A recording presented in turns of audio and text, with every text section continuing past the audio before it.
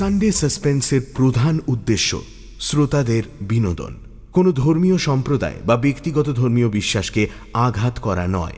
আমরা আশা করব সানডে সাসপেন্সের শ্রোতারা নিছক গল্প শোনার আনন্দেই এই গল্পটি গ্রহণ করবেন। আমাদের আজকের গল্পে মনস্তাত্ত্বিক সমস্যার উল্লেখ রয়েছে। মানসিক স্বাস্থ্য টিম সানডে সাসপেন্সের কাছে কোনোভাবেই ব্যঙ্গ বিদ্রুপ বা হাস্যরসের বিষয় নয়। টিম সানডে সাসপেন্স মনে করে, মানসিক স্বাস্থ্যের খেয়াল রাখা অত্যন্ত জরুরি। প্রয়োজনে মনোবিদ বা চিকিৎসকের সঙ্গে যোগাযোগ করুন। মদ্যপান, ধূমপান ও মাদক সেবন স্বাস্থ্যের পক্ষে ক্ষতিকর। সানডে সাসপেন্সে আমরা বিভিন্ন ধরনের সাসপেন্সের গল্প প্রচার করে থাকি। ভূত, গোয়েন্দা, অলৌকিক ইত্যাদি। ভূতের গল্পে অনেক সময় আমরা দেখেছি সেখানে ব্ল্যাক ম্যাজিক দেবদেবী ঝাড়ফুঁক, তন্ত্রমন্ত্র ইত্যাদির উল্লেখ থাকে। গল্পের লেখক, রোমাঞ্চকর আবহাওয়া বা প্লট তৈরির খাতিরেই এগুলো ব্যবহার করে থাকেন। কোনো রকম কুসংস্কার বা অযৌক্তিক ভীতিকে প্রশ্রয় দেবার জন্য নয়। আমরা আশা করব সানডে সাসপেন্সের শ্রোতারাও সংস্কার মুক্ত হয়ে খোলা মনে গল্প শোনার আনন্দেই এই গল্পগুলি গ্রহণ করবেন। বাংলা সাহিত্যের রোমাঞ্চকর কিছু গল্প দিয়ে সাজানো আমাদের এই বিশেষ নিবেদন সানডে সাসপেন্স আজ আপনার জন্য সানডে সাসপেন্সে প্রখর রুদ্রর গল্প, ছিন্ন ভিন্ন, ছিন্ন মস্তা। সত্যজিৎ রায়ের ফেলুদার গল্পে রহস্য রোমাঞ্চ ঔপন্যাসিক লালমোহন গাঙ্গুলির কাল্পনিক গোয়েন্দা চরিত্র প্রখর রুদ্রকে নিজের গল্পের নায়ক করেছেন লেখক কৌশিক রায়। কৌশিক রায়ের গল্পে দেশ দেখার নেশায় কম বয়সে ঘর ছেড়েছিলেন প্রখর রুদ্র। নানা জায়গায় ঘুরে এবং বিচিত্র অভিজ্ঞতা সঞ্চয় করে শেষ বয়সে গড়পাড়ে নিজের ভাইয়ের বাড়িতে ফিরে আসেন তিনি।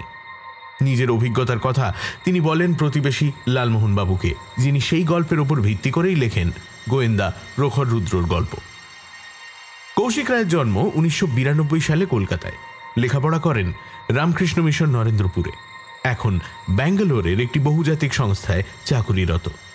আজকের গল্প আমরা নিয়েছি তাঁর লেখা এবং বিভা প্রকাশনী থেকে প্রকাশিত বই চক্রবুহে প্রখর রুদ্র বইটি থেকে। গল্প পাঠে এবং গল্পের সূত্রধার আমি দ্বীপ প্রখর রুদ্রের চরিত্রে মীর শুরু হচ্ছে ছিন্ন ভিন্ন ছিন্ন মস্তা।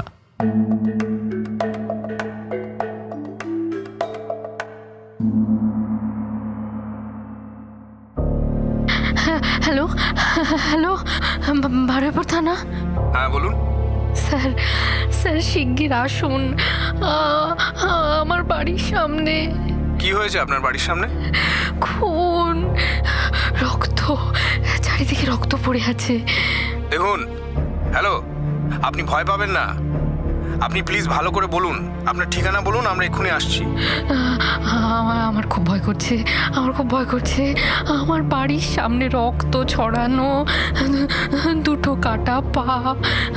ওরা ওরা মেয়েটাকে আস্ত রাখেনি স্যার স্যার আপনি তাড়াতাড়ি আসুন। আচ্ছা আপনি কি কাউকে দেখতে পেয়েছেন? আগে আগে সকাল পাঁচটার দিকে একটা গাড়ির আওয়াজ হয়েছিল। হ্যাঁ হ্যাঁ হ্যাঁ হ্যাঁ কিন্তু কিন্তু তখন তো তখন তো কাউকে দেখতে পাইনি। ছটার সময় ছটার সময় যখন মর্নিং ওয়াক করতে যাই তখন দেখি এই অবস্থা। ঠিক আছে আমরা আসছি। আপনি প্লিজ কিছুতে হাত দেবেন না আর বাড়ি থেকে বের হবেন না।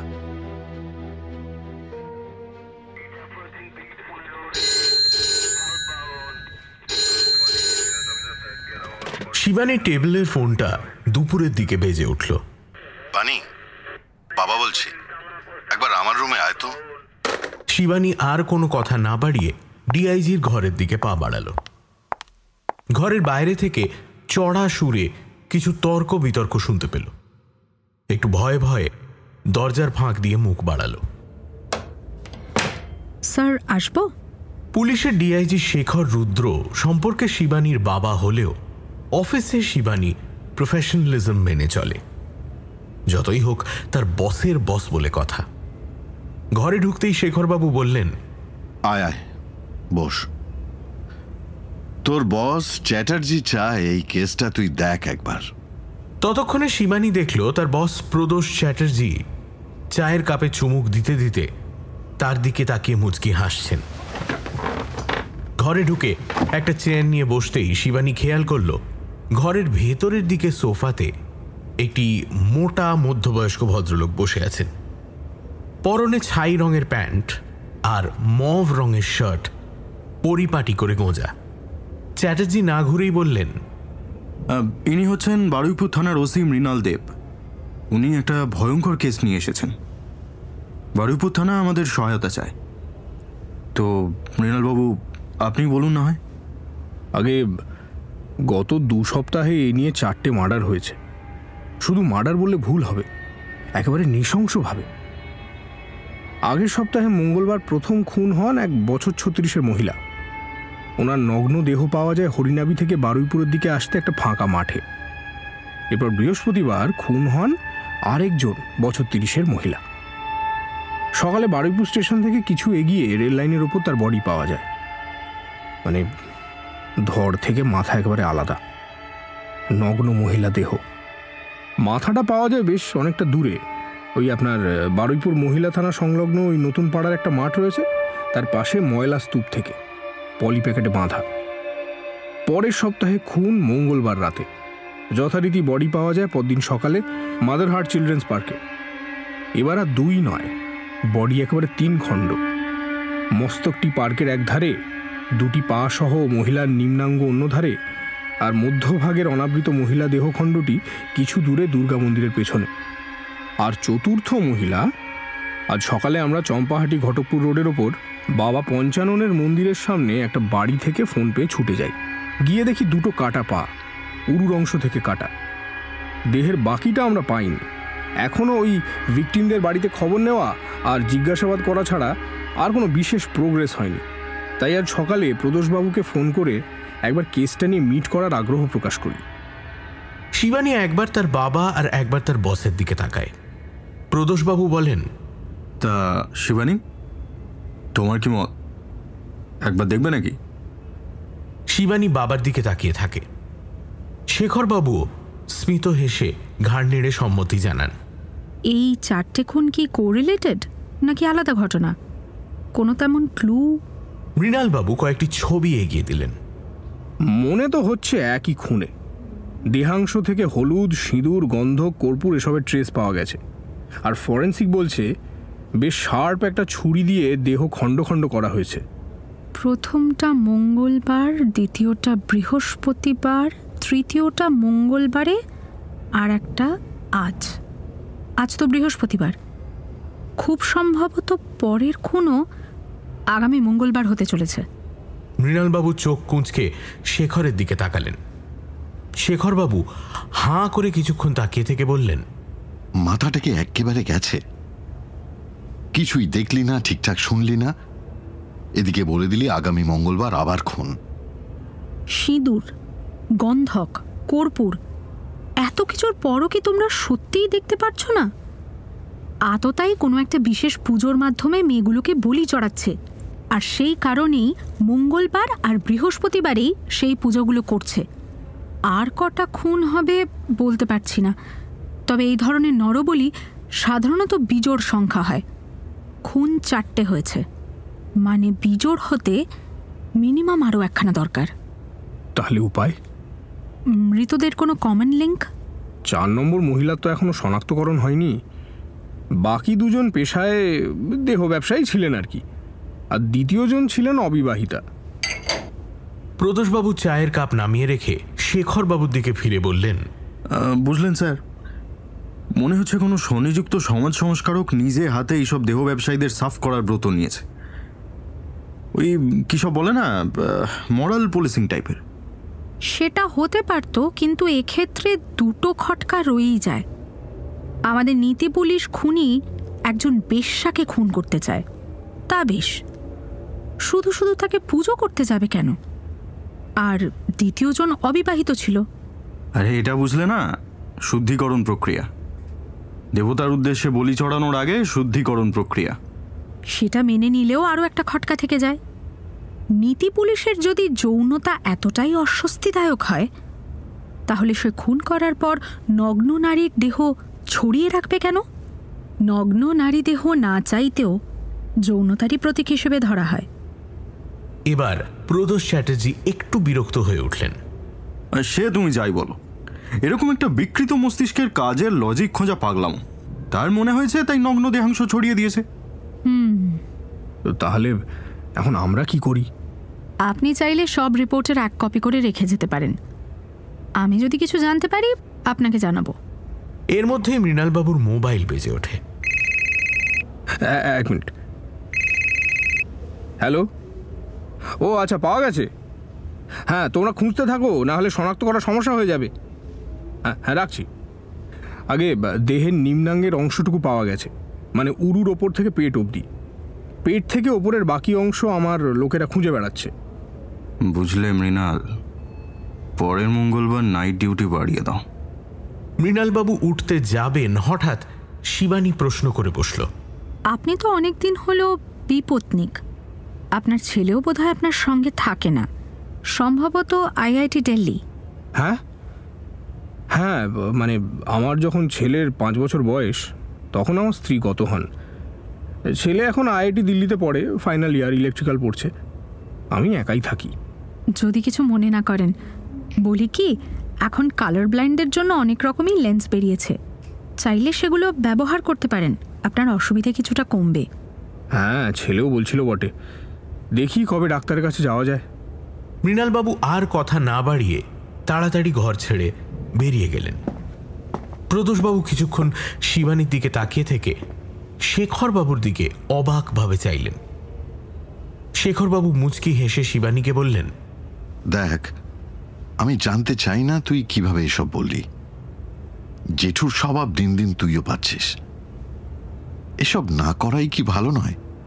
But I want to know তা এমন রকেট সায়েন্স নয় স্যার। ওনার মোবাইলের ব্যাক কাভারটা একটা কাস্টমাইজড কাভার যার পেছনে একটা কম বয়সী ছেলের সাথে ওনার ছবি। সাথে লেখা, মাই সুপার ড্যাড। তাই বুঝলাম ছবিটি ওনার ছেলের। কাভারেরই একটা সাইডে লেখা একটা লোগো ছিল রঁদেভু এটি হলো আইআইটি দিল্লির কালচারাল ফেস্টের নাম। বিভিন্ন বড় বড় ইউনিভার্সিটিগুলোতে তাদের কালচারাল ফেস্টের সময় এরকম বিভিন্ন মার্চেন্ডাইজ দেওয়া হয়। যেমন কফি কাপ টি শার্ট ওদের হয়তো আগের বছর কাস্টমাইজ মোবাইল ব্যাক কভার দিয়েছিল। সেটিই সে বাবাকে উপহার দিয়েছে। আর বিপত্নিক? আগে ওর মোবাইলের ওয়ালপেপারে দেখলাম।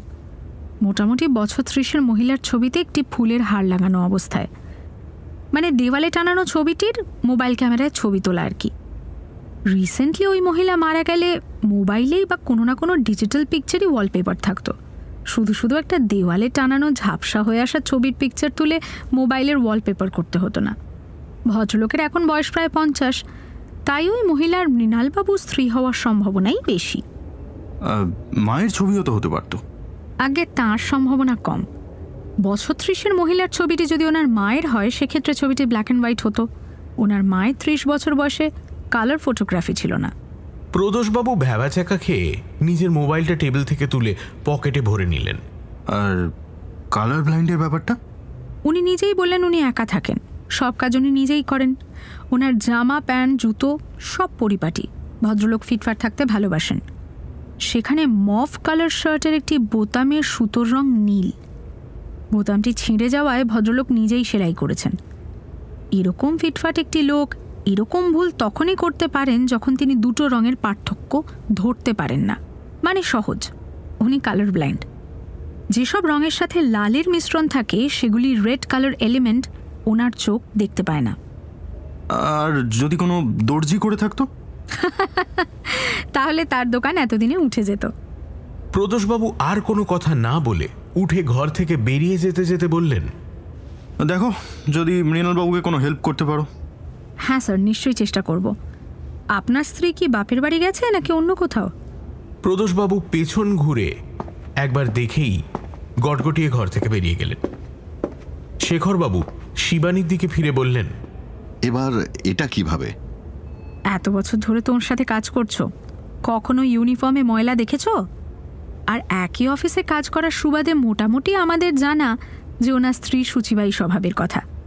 কিন্তু আজকে ওনার প্যান্টের পিছনে কালকের বৃষ্টির পরের হালকা কাদার ছিঁটেগুলো এখনও আছে। পরের দিন শুক্রবার, শিবানী সন্ধেবেলা অফিস থেকে সোজা ফিরেই জেঠুর ঘরে ঢুকল। দেখল জেঠু ল্যাপটপে বসে কিছু একটা করছেন। আর ইন্দ্রাণী পাশের সোফাতে আজ শোয়া হয়ে টক্সোলজি নিয়ে একটি বই পড়ছে। শিবানী দুজনের দিকেই একবার দেখে বলল আমার কাছে একটা ইন্টারেস্টিং কেস আছে। তোমরা কি শুনবে? প্রখর রুদ্র কিছু না বলে একবার মুখ তুলে তাকালেন।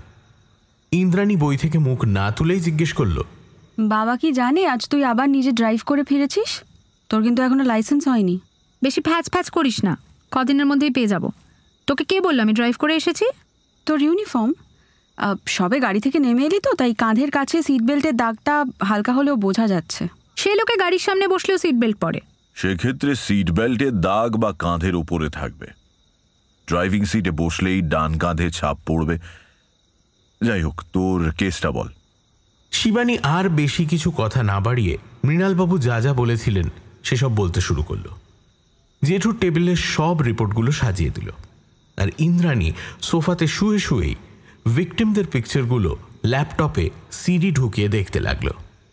শিবানীর বলা শেষ হলে প্রখর রুদ্র পোস্টমর্টেম রিপোর্টের ওপর চোখ বুলিয়ে বললেন ইন্টারেস্টিং কি হলো? রিপোর্ট বলছে যে তিনজনের বডি পাওয়া গেছে। তাদের ভাজাইনাতে পুরুষের প্রি ইজ্যাকুলেশন বডি ফ্লুইড পাওয়া গেছে। কিন্তু সিমেন নয়। এমনকি ভিকটিমদের পিউবিক হেয়ারেও ইজ্যাকুলেশন বডি ফ্লুইড আছে কিন্তু সিমেনের কোনো ট্রেস মাত্র নেই। এমনকি সারা দেহের কোথাও সিমেনের সামান্য ট্রেস নেই। আজব তো। ইন্দ্রাণী ছবিগুলো জুম করে দেখতে দেখতে ধীরে ধীরে বলল আচ্ছা বানি তুই তো বললি শার্প ছুরি ব্যবহার করা হয়েছে তাই না? হুম ফরেন্সিক তো তাই বলছে। চতুর্থ বডির সব পার্টগুলো খুঁজে পাওয়া দরকার। তবে তুই বোধহয় ঠিক দিকেই এগোচ্ছিস।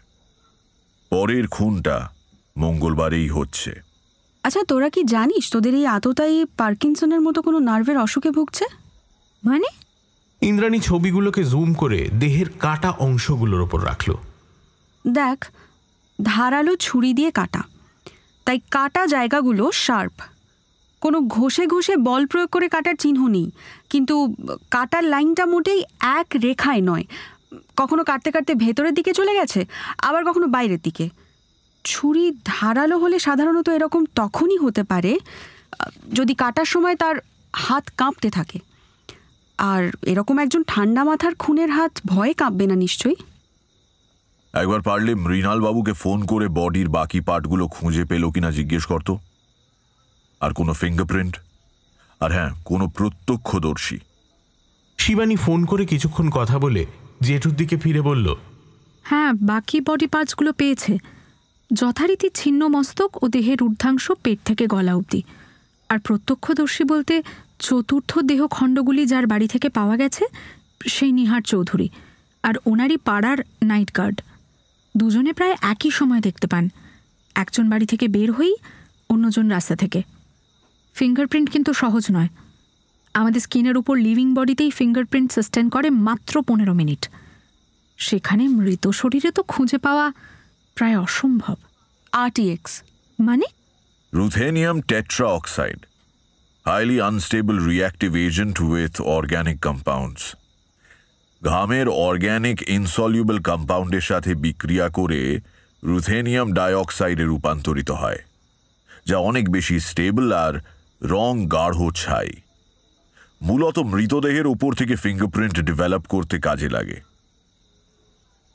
এবারের বডি পার্টসগুলো লালবাজারে পাঠাতে বল। আই এম শিওর কিছু না কিছু পাওয়া যাবে।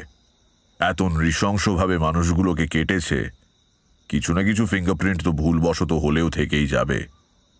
শিবানী একবার ইন্দ্রাণীর দিকে অবাক দৃষ্টিতে তাকায়। তারপর মৃণালবাবুকে ফোন করে। I want all the body parts at Lalbazar right now সোমবার সকালের ব্যস্ত অফিসের ফাঁকে জেঠুমণিকে শিবানীর ফোন। মৃণালবাবু বেশ কাজের লোক আর অভিজ্ঞও বটে। কোনো ক্লু না পেয়ে এলোপাথারি সন্দেহজনক সবার ফিঙ্গারপ্রিন্ট ও জিজ্ঞাসাবাদ করেছেন। সব আপডেট দিয়েছেন। সব ভিকটিমদের সেই দিনের ফোন কল লিস্ট বের করে আতিপাতি করে সব তোলপাড় করে ফেলেছেন। সবার মধ্যে একটি নাম্বার কমন নিহার চৌধুরী। আচ্ছা। স্ট্রেঞ্জ ভদ্রলোক কি বলছেন? জেরার মুখে তিনি স্বীকার করেছেন। একা থাকেন তাই আর কি বিভিন্ন এসকট সার্ভিসে তার চেনা জানা আছে। সেখান থেকেই তিনি মাঝে মাঝে এই সমস্ত মহিলাদের ফোন করে রাতে তার বাড়িতে আসতে বলে থাকেন। দ্বিতীয় মহিলাটি তার অফিসের পরিচিত নিজেই বাড়িতে ডেকেছিলেন। বুঝতেই পারছ ব্যাপারটা? কী জন্য আর নাই বা বললাম। ফিঙ্গারপ্রিন্ট কি বলছে? ফিঙ্গারপ্রিন্ট ম্যাচ করেছে। কিন্তু সমস্যা অন্য জায়গায়। উনি স্বীকার করেছেন ওই সবকটি মহিলার সাথেই খুনের আগে রাতগুলিতে তিনি শারীরিকভাবেও ঘনিষ্ঠ হয়েছেন। তাই ওদের দেহে নিহার চৌধুরীর ফিঙ্গারপ্রিন্ট থাকতেই পারে। অস্বাভাবিক কিছু না। আর pre ejaculation body fluid matched কিন্তু ওই আবার ডেড এন্ড উনি নিজেই স্বীকার করেছেন ওদের সাথে শারীরিকভাবে ঘনিষ্ঠ হয়েছিলেন। কারোর সাথে সেক্স করাটা তো আর অপরাধের মধ্যে পড়ে না। তার বেসিসে কি করে আমরা কাউকে খুনের কেস দিতে পারি? আমরা আমাদের মতো করে কড়া জেরা করে যাচ্ছি। কিন্তু উনি একই কথা বলছেন। ওনার মতে ওই মহিলারা তার বাড়ি থেকে বের হওয়ার পরই হয়তো কেউ তাদের টার্গেট করেছিল। ওর মতে কেউ ওনাকে ফাঁসাতে চেষ্টা করছে। তাই এসব। সন্দেহের তালিকায় কারও নাম দিয়েছেন? বলছেন অনিমেষ ঘোষ পাড়ার ক্লাবের সেক্রেটারি। কয়েকবার নাকি নিহারবাবুকে শাসিয়েছেন। ভদ্রপাড়া এসব করলে একদম শেষ করে দেব বলে। এক মাস আগে নাকি একবার পাড়ার কিছু ছেলেদের নিয়ে অনিমেষ ঘোষ এসেছিলেন। নিহারবাবুকে গণধোলাই দিতে। নিহারবাবু পুলিশে ডায়েরিও করেছিলেন। বারুইপুর থানার সে রিপোর্টের কপি মৃণালবাবু ফ্যাক্সও করেছিলেন। নিহারবাবু মিথ্যে বলছেন না। খুনগুলো শুরুও হয়েছে সপ্তাহ তিনেক আগে থেকেই। তাহলে এখন কি করবি ভাবছিস? জেরা চালিয়ে যাব আরও ঘন্টাখানেক যদি শেষ পর্যন্ত কিছুই না পাই তাহলে আর কি করব? আপাতত ছেড়ে দেওয়া ছাড়া তো উপায় নেই। ঠিক আছে যেটা ভালো বুঝিস তোরা। নতুন কিছু জানতে পারলে জানাস। আর আমি দেখি আমার মতো করে কিছু খুঁজে পাই কিনা। প্রখর রুদ্র ফোন রেখে ইন্দ্রাণীকে নিচে ডেকে আনলেন। এই দুজনের ব্যাপারে একটু খোঁজ খবর করে আয়। নিহার চৌধুরী আর অনিমেষ ঘোষ। ইন্দ্রাণী বাড়ি থেকে বের হওয়ার আগে একবার শিবানীকে ফোন করে। আচ্ছা গত বৃহস্পতিবার যখন মৃণালবাবু লালবাজার এসেছিলেন তখন চতুর্থ ভিক্টিমের ঠিক কী কী পাওয়া গেছিল রে? কেন? শুধু দুটো পা। লালবাজারেই তো ওনার ফোন আসে যে উড়ু থেকে পেট পর্যন্ত অংশ তার লোকেরা খুঁজে পেয়েছেন। হুম দুটো কাটা পায়ের ছবি তুই দেখেছিস ভালো করে? হ্যাঁ দুটো পা কোথাও কিছু নেই আর অনাবৃত কোনো গয়নাও নেই। হুম সেটাই ভাবছি অথচ দুটো পা দেখি মৃণালবাবু বলে দিলেন মহিলার মৃতদেহ কিন্তু তখনও তো পোস্টমর্টম হয়নি। যাই হোক ঠিক আছে তুই রাখ আমি দেখছি। তোর সে হয়তো আগের তিনজন মহিলা ছিলেন তাই। ইন্দ্রাণী আর শিবানীর পুরো কথা না শুনেই ফোনটা কেটে দেয়। হ্যালো হ্যালো শেখর আমি দাদা কথা বলছি। হ্যাঁ দাদা বল রে। একটু লেট হচ্ছে ফিরতে তুই চিন্তা করিস না। এক ঘণ্টার মধ্যে বেরোচ্ছি। সেটা নয় ইন্দ্রাণী সকালে বাড়ি থেকে বেরিয়েছিল। মাঝে দুপুরে একবার ফোন করেছিল কিন্তু এখন তো রাত আটটা বাজতে যায়। ফিরলো না আর ওই ফোনটাও সুইচড অফ বলছে।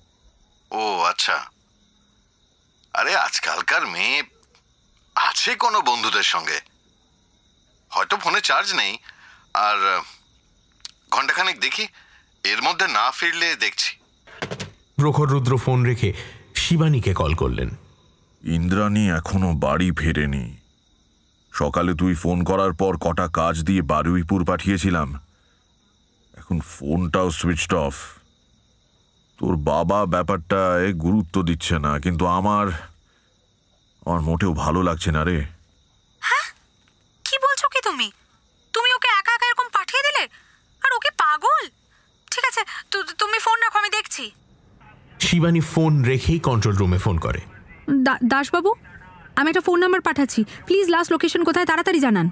শিবানী বারুইপুরের দিকে গাড়ি ছোটায়।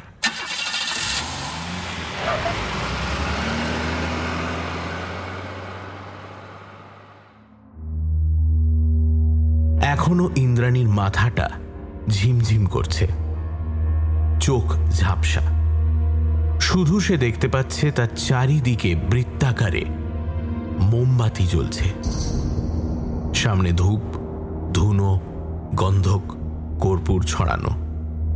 মোমবাতির আলোক বৃত্তের বাইরে একটি লোক আলখাল্লার মতো পোশাক পরে নিচু হয়ে একটা লাল মলাটের বই থেকে কিছু মন্ত্র বিড়বিড় করে পড়ে যাচ্ছে।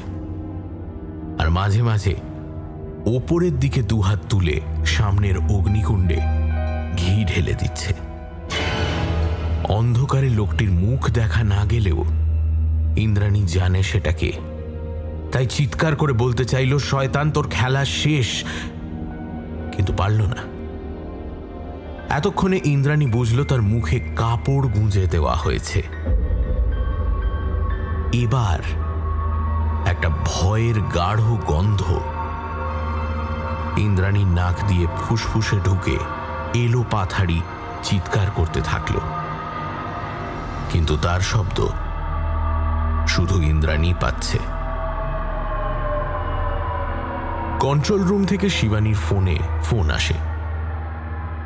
ইন্দ্রাণীর ফোন শেষ ধরা পড়েছে বারুইপুর স্টেশন রোডের ওপর। তারপর আর পাওয়া যাচ্ছে না। শিবানী বুঝতে পারে না যে স্টেশন রোডের এত বড় জায়গায় কোথায় সে ইন্দ্রাণীকে খুঁজবে। হঠাৎই শিবানীর ফোন বেজে ওঠে। বিকাশের ফোন।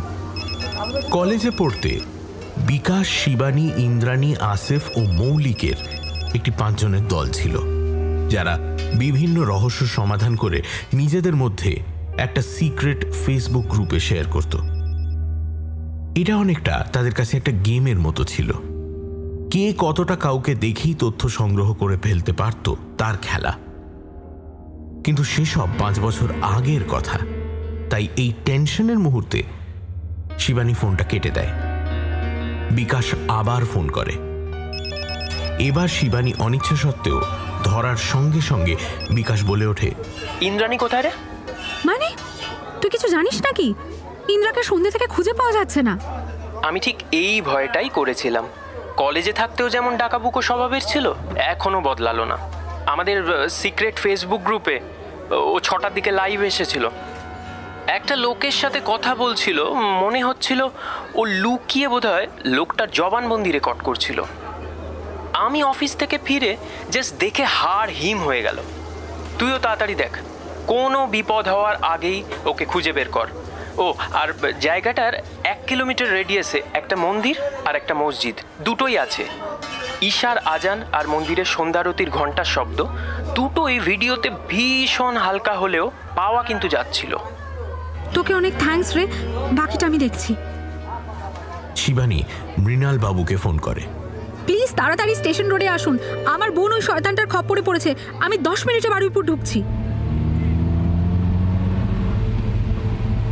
অন্ধকারে লোকটা মন্ত্র পড়া শেষ করে উঠে দাঁড়িয়ে বলে ওঠে হে মা মা আমায় শক্তি দে মা শক্তি দে। নিজের কালো আলখাল্লাটা একটা টানে খুলে দিয়ে নগ্ন শরীরে হাতে একটা লম্বা ধারালো ছুরি নিয়ে ইন্দ্রাণীর দিকে এগিয়ে আসতে থাকে সে।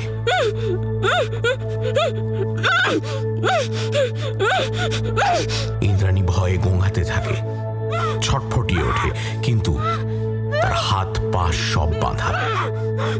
লোকটা ইন্দ্রাণীর কানের কাছে এসে একটা হিস হিসে গলায় বলতে থাকে তুমি অনেক জেনে গিয়েছিলে মামুনি।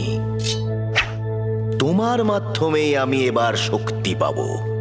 ধারালো ছুরির ফলা দিয়ে এক টানে ইন্দ্রাণীর সালোয়ার কেটে দুটুকরো করে ফেলে লোকটা। অন্য হাত দিয়ে কর্পূর, গন্ধক আর হলুদ মেশানো চূর্ণ ইন্দ্রাণীর গায়ে ঘষে দিতে থাকে।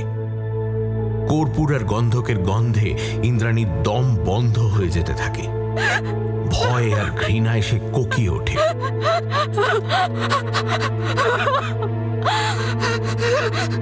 লোকটি এবার ইন্দ্রাণীর ঊর্ধ্বাঙ্গের অন্তর্বাসী স্ট্র্যাপের ওপর ধারালো ছুরিটা রেখে কাটতে উদ্যত হয়।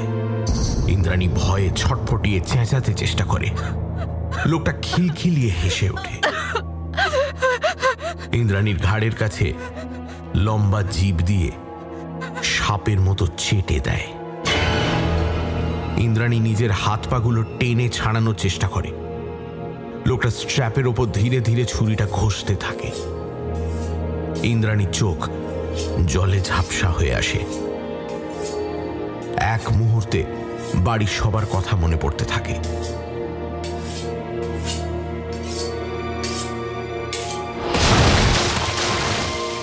তোমার খেলা শেষ শয়তান! ইন্দ্রাণী চোখ খুলে তাকিয়ে দেখে শিবানী দরজা ভেঙে তার সামনে এসে দাঁড়িয়েছে। পেছনে উলঙ্গ দেহে লোকটা পড়ে আছে। কাঁধে গুলির ক্ষত থেকে রক্ত পড়ছে। শিবানী ছুটে এসে মেঝেতে পড়ে থাকা কালো আলখাল্লাটা দিয়ে ইন্দ্রাণীকে জড়িয়ে দেয়। মৃণালবাবু ও তার কনস্টেবলরা ঘরে ঢুকে লোকটাকে পাকড়াও করে ফেলে। লোকটা রাগে ফুঁসতে থাকে। শিবানী ইন্দ্রাণীর বাঁধন খুলে দেয়। ইন্দ্রাণী শিবানীকে জড়িয়ে ধরে কাঁদতে থাকে। শিবানীর চোখেও জল চলে আসে। তাও সামলে নিয়ে এসে বলে, গুড জব ইন্দ্রা। শয়তানটার ফাঁসি যাতে হয়, আমি দেখব। এখন বাড়ি চল। সবাই চিন্তা করছে রে। ইন্দ্রাণী এবার কিছুটা ধাতস্থ হয়ে নিজের দিকে ইশারা করে বলে কিন্তু এই অবস্থায় গেলে বাবা আমাকে মেরেই ফেলবে। আর আর জেঠুকে এসবের জন্য দায়ী করবে। ওকে দাঁড়া আমি দেখছি। শিবানী বাইরে থেকে মৃণালবাবুকে ডেকে পাঠায়। মৃণালবাবু বলছে আপনি তো একাই থাকেন। আপনার বাড়ির বাথরুমটা যদি একটু ব্যবহার করা যেত মানে ইন্দ্রার যা অবস্থা? আরে নিশ্চয়ই এতে বলার কি আছে? আসুন আর আমি একটা কনস্টেবলকে পাঠিয়ে এক্ষুনি পাশের কোনো দোকান থেকে ওর একটা পোশাকের ব্যবস্থা করে দিচ্ছি। Thank you মৃণালবাবু। আর একটা অনুরোধ আপনার ভিডিও এভিডেন্স তো পেয়েই গেছেন? আততায়ী জবানবন্দি। আমার মনে হয় কোর্টে আপনাদের শাস্তি নিশ্চিত করতে আর কোনো অসুবিধে হবে না। শুধু একটা অনুরোধ বোনের এই ব্যাপারটা যদি লালবাজার পর্যন্ত না পৌঁছয় তাহলে কৃতজ্ঞ থাকব। ওকে তাই হবে শিবানী। তোমরা দুই বোনই খুব সাহসী। তোমরা ভালো থাকো সুস্থ থাকো। রাত সাড়ে দশটা। শিবানীর সাদা স্করপিওতে দুই বোন উঠে পড়ে। মৃণালবাবুর বাড়ি থেকে ভালো করে স্নান করে নতুন পোশাক পরে ইন্দ্রাণী এখনও গাড়ির সামনে ভয়ে কুঁকড়ে বসে আছে। শিবানী চুপচাপ স্টিয়ারিং হাতে বাড়ির দিকে গাড়ি ছোটায়। ইন্দ্রাণী অস্ফুট স্বরে বলে ওঠে বিনা লাইসেন্সে গাড়ি চালালে বাবা বকবে কিন্তু। শিবানী কিছু না বলে পকেট থেকে তার সদ্য পাওয়া লাইসেন্সটা ইন্দ্রাণীর দিকে এগিয়ে দিয়ে বলে আর আপনি বিনা লাইসেন্সে যেটি করলেন সেটা নিয়ে কিছু বলবেন কি? পারফেক্ট ক্রাইম ছিল।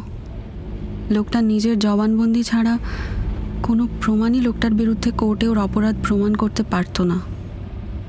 ছাড়া পেয়েই যেত। তোদের এত চেষ্টাতে ও মুখ খুলেছিল কি? তাই ওকে ধরতে কাউকে না কাউকে টোপ হতেই হতো। তাই বলে নিজেকে? তুই কি পাগল? না আসলে আসলে অসতর্ক হয়ে পড়েছিলাম। এসেছিলাম শুধু জিজ্ঞাসাবাদ করতেই কিন্তু সেটাই যে জবানবন্দি হয়ে যাবে বুঝতে পারিনি। যখন বুঝলাম তখনই বিপদ বুঝে আমাদের পুরনো গ্রুপে ফেসবুক লাইভটা চালিয়ে দিয়েছিলাম। ভেবেছিলাম তুই নিশ্চয়ই ভিডিওটা দেখেই অফিস থেকে বেরিয়ে পড়বি। শিবানী ইন্দ্রাণীর হাতটা চেপে ধরে। সরি রে এতটাই বিজি ছিলাম যে ফেসবুক দেখা হয়নি। সত্যিই গুড জব তোকে চিন্তা করতে হবে না বাড়িতে সামলে নিয়েছি। বলেছি তুই শপিংয়ে গিয়েছিলি। ফোনে চার্জ ছিল না তুই তোর বন্ধুর ফোন থেকে আমায় ফোন করেছিলি আমরা একসাথে ফিরছি। হুম থ্যাংক ইউ আচ্ছা ভিডিওটা কি তুই পুরোটা দেখেছিলি? না রে পুরোটা দেখার মতো তখন সময় ছিল না। ইন্দ্রাণী, কিছু না বলে শিবানীর ফোনটা খুলে ফেসবুক গ্রুপ থেকে ভিডিওটা চালিয়ে গাড়ির সামনে রাখে। ভিডিওটা চলতে থাকে। লুকিয়ে হাতে ধরা ফোন ক্যামেরার ওপারের মুখটি শিবানী চেনা। নিহার চৌধুরী। ভিডিও কথোপকথন শুনতে শুনতে শিবানী গাড়ি চালাতে থাকে। ভিডিওর এপারে মহিলা কণ্ঠের প্রথম প্রশ্ন। আপনাকে আবার করে এসব প্রশ্ন করার জন্য খুব দুঃখিত। কিন্তু আমি একজন প্রাইভেট ডিটেকটিভ আমার ক্লায়েন্ট গত সপ্তাহে খুন হয়েছেন। পুলিশের সন্দেহ আপনার দিকে আর সে ব্যাপারেই কিছু প্রশ্ন করতে চাই। নিহার চৌধুরী শান্ত চোখে বলেন করুন আপনার জিনোফোবিয়া আছে তো? না। না না না না, আপনাকে আপনাকে কে বলল? মিথ্যে বলে লাভ নেই। আপনি তিন মাস যে মনোবিদের কাছে সেশনের জন্য যেতেন তার সব রিপোর্ট আছে। সেই ডাক্তারও বলেছেন জিনোফোবিয়ার কারণেই আপনি মানসিকভাবে ভেঙে পড়েছিলেন। একই কারণে আপনার বিয়েও টেকেনি। চিকিৎসাটা বন্ধ না করাতেই পারতেন। সেসব আমার ব্যক্তিগত ব্যাপার। আপনি নাক না গলালেই ভালো লাগবে। কোন বেশ্যাটা আপনার ক্লায়েন্ট? সেটা আমি বলতে বাধ্য নই। তাহলে আমিও আপনার প্রশ্নের উত্তর দিতে বাধ্য নই। সেক্ষেত্রে আমার সমস্ত প্রমাণ পুলিশকে দিয়ে দিতে বাধ্য হব। তারা তাদের মতো করেই বাকি কথা আপনার কাছ থেকে জেনে নেবে। সেটা বোধহয় খুব একটা সুখকর হবে না। এমনিতেই পুলিশ আপনাকে সন্দেহ করছে। তারপর আমার সংগ্রহ করা প্রমাণগুলো পেলে বোধহয় ব্যাপারটা শুধুমাত্র জিজ্ঞাসাবাদে আর সীমাবদ্ধ থাকবে না। কি প্রমাণ? একটু শুনি। আজ সকালে মৃণালবাবুকে জিজ্ঞেস করি গত বৃহস্পতিবার সকালে আপনার এখান থেকে শুধু দুটো পা দেখেই কি করে নিশ্চিত হলেন ওটা কোনো মহিলার? পায়ে কোনো গয়না নেই নেল পলিশ নেই। অনেক ভেবে বললেন কনস্টেবল সুদীপ তাই বলেছিল। আমি সুদীপকেও একই প্রশ্ন জিজ্ঞেস করি। তার উত্তর ছিল ফোনে আপনি তাকে বলেছিলেন। এবার আপনি বলবেন কি? আপনি কি করে জানলেন? না মানে মহিলাই হবে। আমি বলি আপনি এই চারজনকে খুন করলেন। প্রথম তিনটে ঠিকই ছিল। চতুর্থ খুনটা করে ভোরে বাড়ি থেকে বের হওয়ার সময় বাঁধল বিপত্তি। পাড়ার তিন চারটে কুকুর আপনাকে ঘিরে ধরে এমন শোরগোল বাঁধালো যে নাইট গার্ড ছুটে এলো। আমার কষ্ট কল্পনা নয়, ওই গার্ডটি নিজেই বলেছে। এক ঝাঁক কুকুরের ডাক শুনে সে আপনার বাড়ির দিকে ছুটে এসেছিল। অবস্থা বেগতিক বুঝে আপনি নিজেই পুলিশে ফোন করলেন। কিন্তু এটা যেহেতু আপনার প্ল্যানই ছিল না, তাই উত্তেজনায় একটা ছোট্ট ভুল করে বসলেন। ওটা না হলে বোধহয় আমিও এতটা শিওর হতে পারতাম না। সবই ঠিক, কিন্তু কোর্টে কীভাবে প্রমাণ করবে? কেউ আমাকে মারতে দেখেনি। আর আমি নিজেই স্বীকার করেছি এই মহিলাদের সাথে আমার শারীরিক সম্পর্ক ছিল। তাই ফিঙ্গারপ্রিন্ট থেকে শুরু করে বডি ফ্লুইড কোনো কিছুরই আর ভ্যালিড থাকে না। কিন্তু বোধহয় এখনও কেউ একটা জিনিস খেয়াল করেনি তাই আপনাকে ধরতে পারেনি। কি? ওই যে আপনার জিনোফোবিয়া। যে কারণে আপনি একটিও শারীরিক সম্পর্ক সম্পন্ন করতে পারেননি। আর আপনার হাতের কম্পন। প্রথমে ভেবেছিলাম পার্কিনসন্স ডিজিজ তবে আপনাকে এখন দেখে বুঝছি আপনারটা পার্কিনসন নয়। আপনি উত্তেজিত হয়ে পড়লে তবেই আপনার হাত কাঁপতে থাকে। আমি যখন এসেছিলাম, আপনি কিন্তু স্বাভাবিক ছিলেন। কিন্তু এখন আপনার হাতে কম্পন শুরু হয়েছে। রেয়ার নার্ভ ডিসঅর্ডার তবে আপনার ফোন কলটা সত্যি মাস্টার স্ট্রোক ছিল। নিজের ফোন থেকে সবাইকে ফোন করেছিলেন এবং সেটা স্বীকারও করে নিলেন। যেন আর পাঁচটা লোকের মতোই শারীরিক খিদে মেটাতেই ফোন করেছিলেন। পারফেক্ট প্রমাণ থেকেও নিন। হ্যাঁ হ্যাঁ হ্যাঁ এই আইডিয়াটার জন্যই তো পঞ্চাশ হাজার টাকা খরচা করেছি। মানে?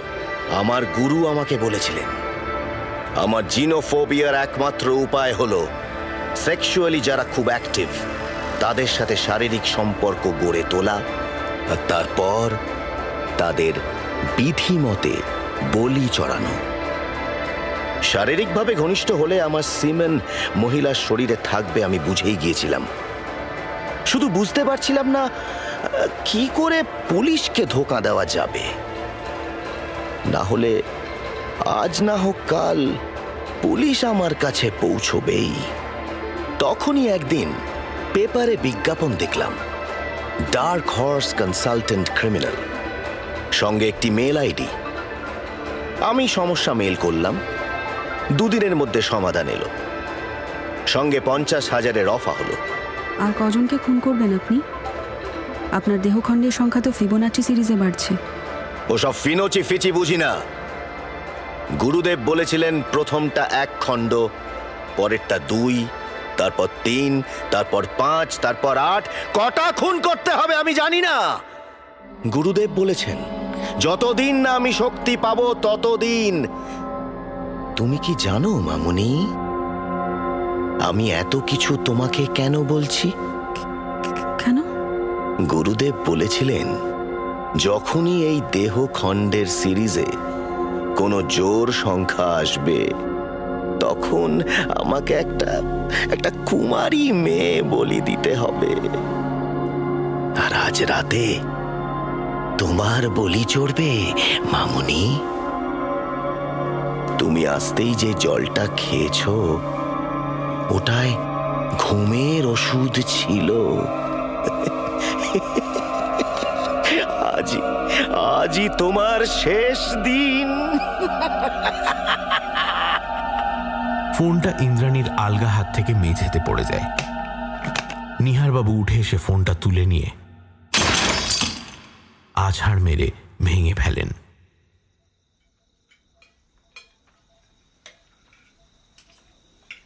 রুদ্র পরিবারের রাতের খাবার টেবিলে যথারীতি সবাই একসাথে খেতে বসেছে।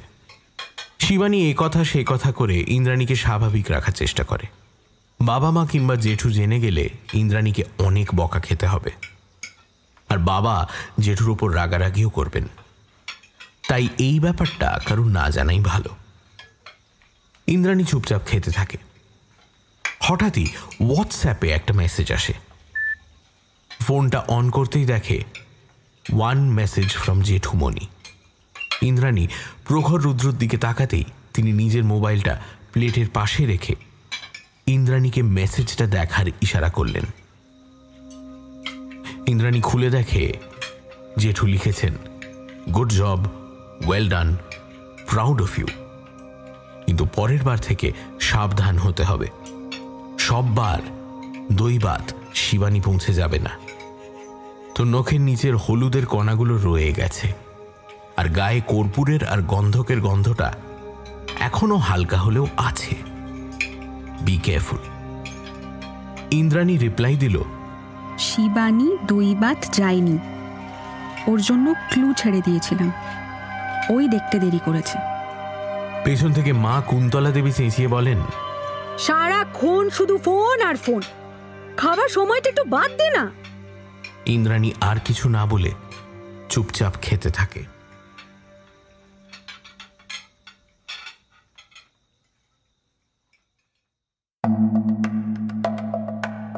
সানডে সাসপেন্সে আজ শুনলেন কৌশিক রায়ের লেখা প্রখর রুদ্রর কাহিনী ছিন্ন ভিন্ন, ছিন্ন মস্তা। প্রখর রুদ্র, মীর। শেখর রুদ্র, দেবজ্যোতি ঘোষ। ইন্দ্রাণী, গোধূলি। শিবানী এবং কুন্তলা দেবীর চরিত্রে শ্রী। চ্যাটার্জি শায়ক আমান, মৃণাল, সোমক, নিহার, অংশুমান পাল, খুনের সাক্ষী, অঙ্কিতা দাস নিয়োগী। গল্প পাঠে, গল্পের সূত্রধার এবং পর্ব পরিচালনায় আমি দ্বীপ ধ্বনি পরিকল্পনা, শুভদীপ।